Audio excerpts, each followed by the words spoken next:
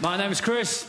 I am blind, which, look, it's going to be just like watching any other comedian, except if any of you guys down the front here do need a piss, you can just go.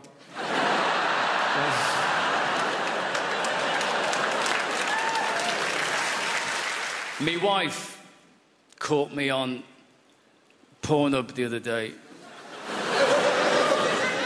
Because um, I'm not going to get any blinder, am I?